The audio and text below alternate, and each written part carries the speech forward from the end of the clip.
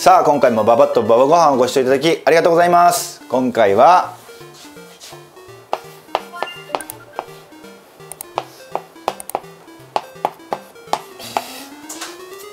鶏汁を作りたいと思います。鶏の横がなんか愛媛のね姫姫の方になってるんですけど。こう合ってるでしょ？多分。これですね。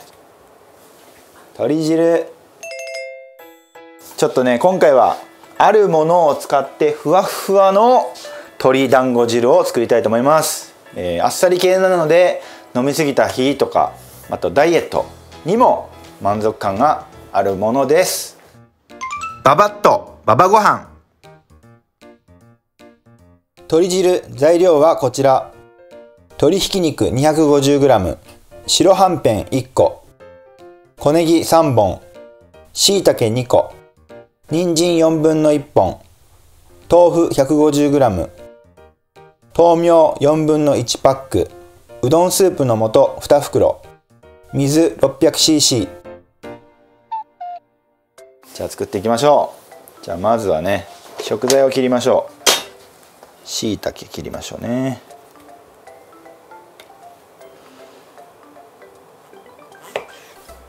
しいたけは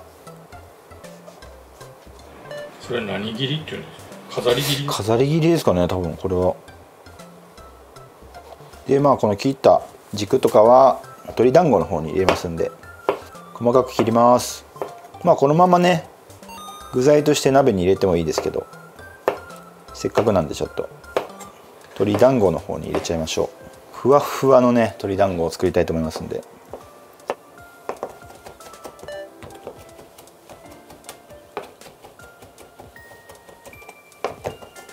じゃあちょっとねみじん切りにしたしいたけの方はボウルに入れたいと思います。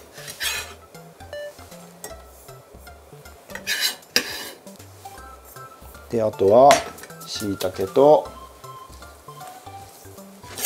小ネギをね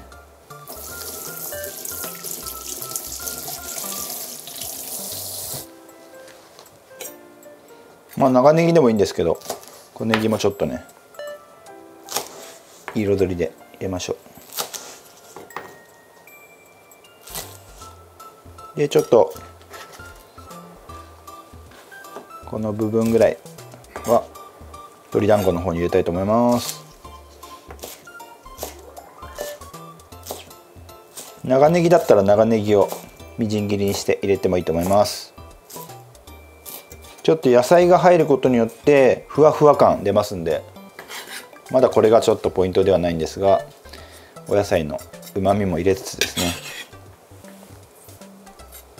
あとは人参入れましょう。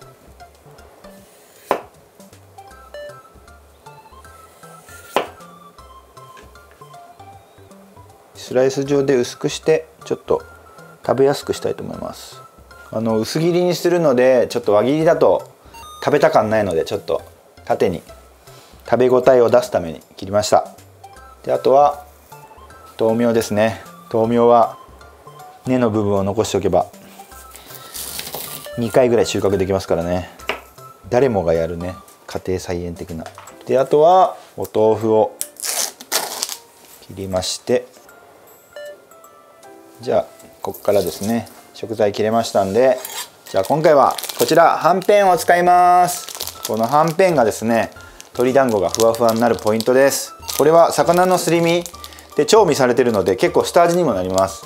でこれをもう袋の中で潰していきます。これには魚の肉卵白でんぷん砂糖調味料など入ってますんで山芋とかね。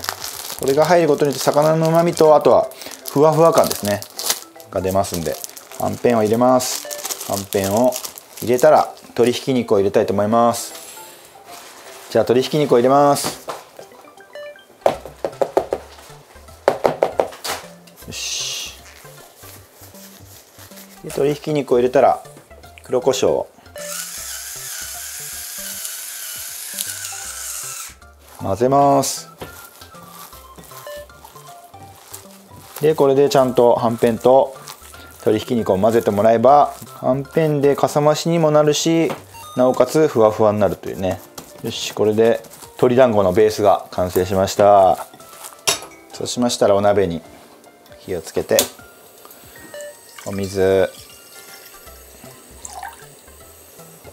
じゃあ今回はうどんスープでベースを作りたいと思います。ちょっと表示のうどんスープより薄めにして鶏団子にも味がついてるのでえっと和風の顆粒だしでもいいですしまあ洋風にコンソメとかでも大丈夫です。しいたけから入れておきます。しいたけお豆腐も入れちゃいますね。お豆腐。よし。で沸いてきたら鶏団子を入れていきます。はんぺんのおかげでですね。ふわふわ。になるんです。でもお肉もねあのたっぷり入ってるので食べ応えもありますし。でここからもうお出汁も出るし薄めの味付けにしてるので途中で飽きてきたらポン酢とかに変えてもいいですしポン酢ごまだれに。もうこのベースのお出汁を強くしすぎちゃうとやっぱりポン酢とかで食べられなくなっちゃうのでちょっと薄めにしてます。ベースを。まああの今回スプーンでやってますけど手でやってこうね。あのお子さんとかと一緒に作ってもいいと思います。じゃあ入れていきます。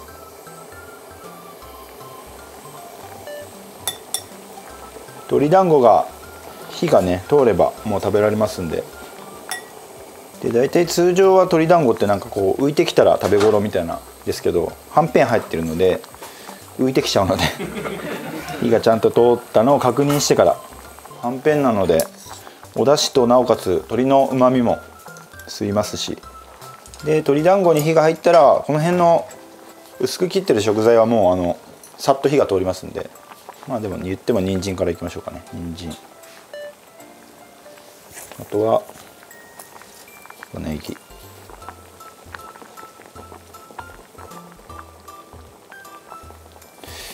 豆苗はちょっと多すぎるとあれなんで。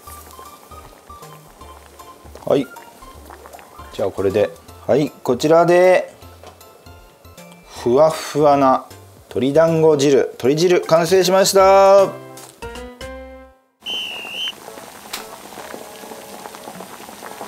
さあそれでは鶏汁いただきたいと思います。じゃあまず団子からいきましょうか。じゃあいただきます。